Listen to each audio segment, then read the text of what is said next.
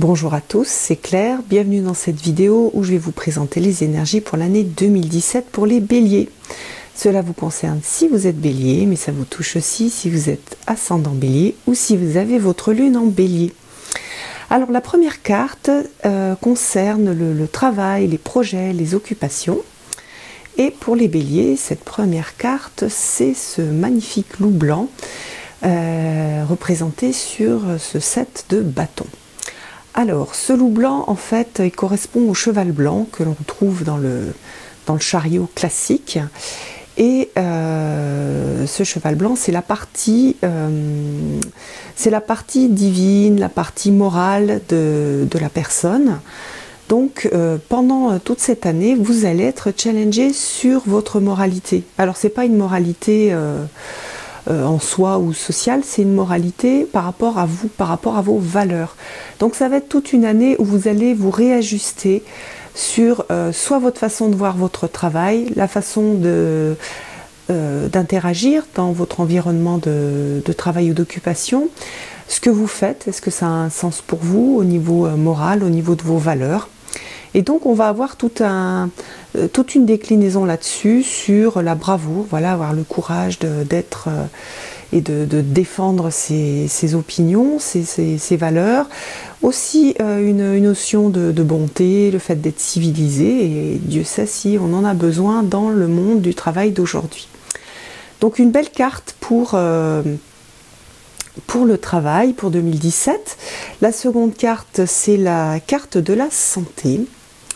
Alors cette carte de santé, c'est le 10 de coupe. Alors ce 10 de coupe, euh, bon, il fait un petit peu peur dans ce jeu. Euh, on a un cheval, un cheval rouge, fougueux. Et puis on a donc ces, euh, personnages qui sont des, des, des, squelettes. Et euh, dans, cette carte-là, on a vraiment une idée de, euh, de ce memento vivere. Rappelez-vous de vivre, c'est-à-dire se rappeler que l'on est mortel et qu'on a un certain nombre de choses à faire dans notre vie. Donc ça va être une, euh, au niveau santé, une idée de, profiter de l'instant présent. Il risque d'y avoir des changements, des fluctuations émotionnelles hein, dans le, pendant cette année. On est dans les couples, donc ça va toucher plutôt la santé émotionnelle. Et donc l'idée, c'est vraiment d'être sur l'instant présent et de profiter des belles choses sur l'instant présent, même si, eh bien, il peut y avoir des, des, montées, des descentes. Ça fait partie de la vie, ça fait partie de, oui, de l'existence humaine. Et donc, euh, si on reste sur le moment présent, euh, eh bien, on vit très très bien ces, ces fluctuations. Donc euh, voilà pour la santé. Et enfin, au niveau euh, de, des relations, de l'amour, on est sur des, belles énergies de compassion, de pureté, de douceur, de paix. Et puis avec cet apprentissage à expérimenter, euh, le fait que voilà, aimer, c'est risquer de perdre, c'est aussi risquer de souffrir, et ça demande du courage. Mais euh, pendant toute cette année, vous allez avoir ce courage et vous allez avoir une grande capacité à rentrer en relation.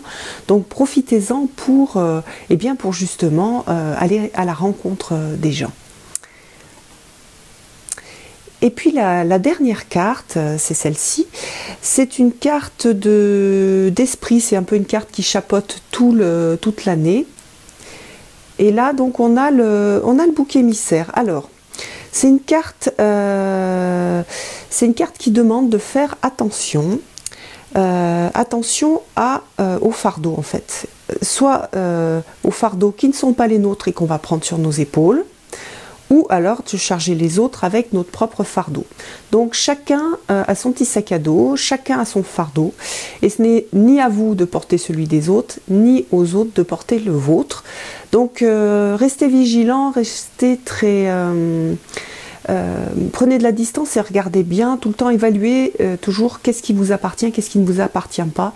Et pour ce qui vous appartient, ben, gardez-le bien pour vous. Ce qui ne vous appartient pas, rendez-le à la personne qui essaye de vous faire porter ce, fardeau.